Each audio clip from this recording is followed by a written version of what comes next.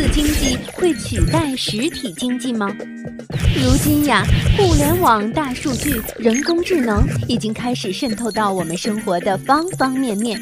有人就说了，在未来，数字经济肯定会代替实体经济的地位。此观点一出，引起了不小的争论。到底哪些算是数字经济？它真的会取代实体经济的江湖地位吗？大家先别急，先来看看我们数字经济的状况到底如何。按照中国信息通讯研究院的统计，目前我国在手机生产、电脑生产、电信运营服务等方面的收入，以及信息技术利用到传统产品里的附加增加值，在国民生产总值中的占比，相比美国都还比较低。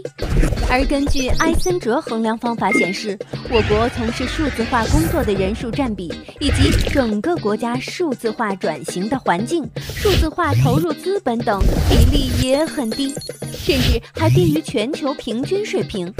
同时呢，根据麦卡锡投入法计算，可以知道，我国的个体消费者以及政府企业在购买或享受信息服务中的支出占比，在全球却位列前茅，甚至还高出美国不少。这说明了啥？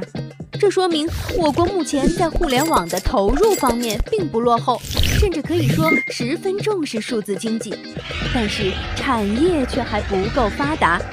好了，了解完我国数字经济的现状，咱们再进行下一步的分析。数字经济这些年的发展，确实给我们的实体经济带来了不小的冲击。比如，从逛街转到网购就是其中之一。不过，也有人说了，这是好事儿。为啥呢？因为它带来了商业模式的变化，服务竞争让效率更高了。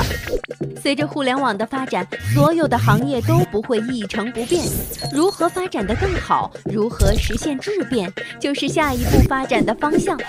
比如说，如今火爆的盒马先生、每日优鲜等，就是一种线上加线下的融合，就是数字经济和实体经济融合的新形式。而且十九大报告也提出了要推动互联网、大数据、人工智能与实体经济的深度融合，从而提升整体竞争力。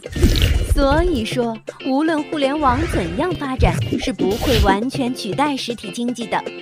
在未来，数字经济和实体经济只会越来越融合。这不，中国工程院院士邬贺铨在中国经济大讲堂中就总结说：“数字经济所对照的是传统经济，而不是实体经济。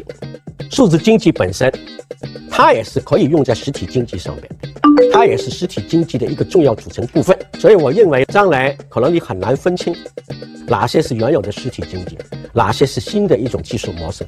两者会更紧密的结合。说了这么多，所谓的实体经济和数字经济以及它们之间的关系，您都听明白了吧？